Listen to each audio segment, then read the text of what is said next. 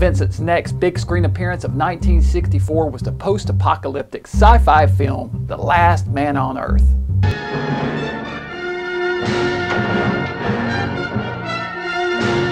Vincent Price plays Dr. Robert Morgan, the sole survivor of a biological plague that has turned mankind into a race of vampires. At night, he locks himself inside his home, surrounded by hordes of the howling creatures, keeping them at bay with mirrors and cloves of garlic, which he hangs on his doors and windows. By day, he ventures forth into the city, tracking down and slaying the creatures, destroying them by driving a wooden stake through their chests.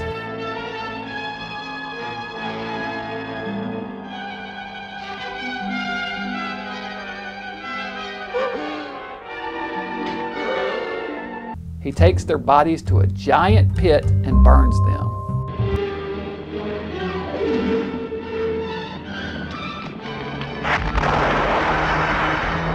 One day, while on his runs, he finds a dog and is thrilled to find another living creature. However, he soon finds that it, too, is infected with the virus and is forced to destroy it. While burying the dog, he spots a woman walking alone, the first person he's seen since the virus struck. At first, she runs from him, but he convinces her to come back to his house with him. Wait, I'm not gonna hurt you. Can't you understand? Wait!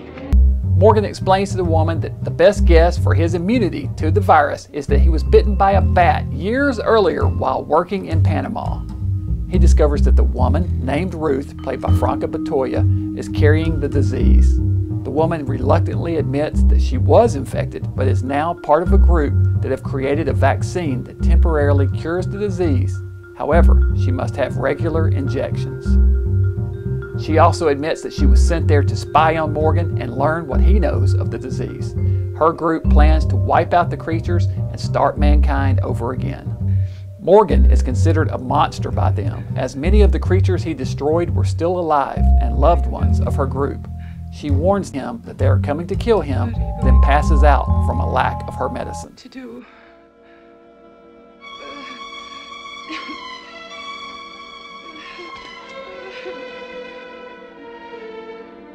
Morgan does give her a blood transfusion and is thrilled to learn that it has completely cured her. However, it's too late as her group has arrived and he must go on the run to try to survive.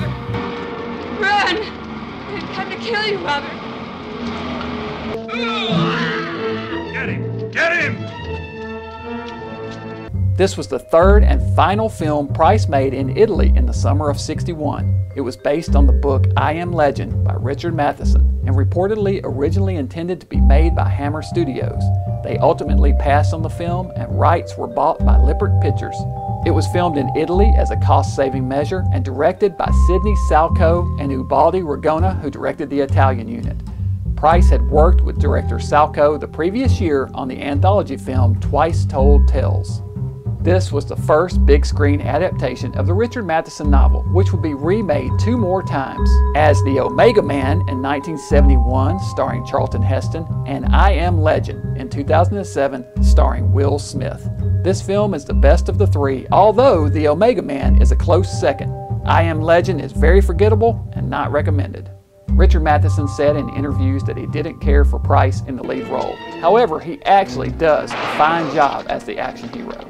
This is one of the more physical roles of his entire career, second perhaps only to the 1962 film Confessions of an Opium Eater.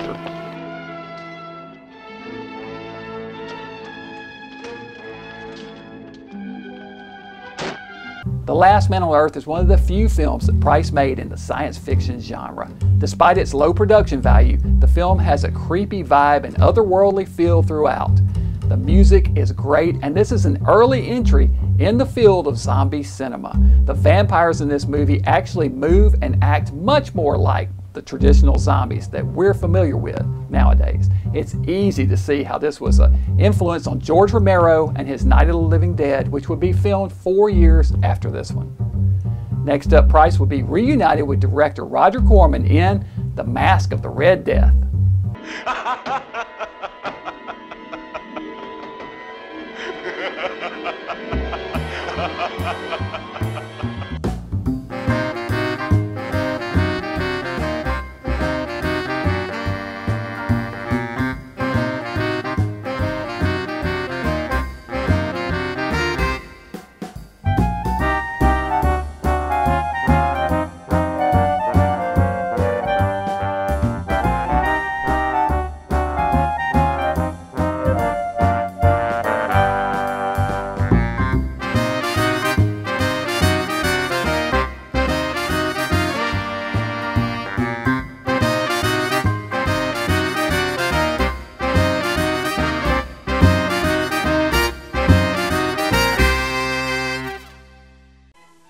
been told that some people actually prefer to limit their intake of food.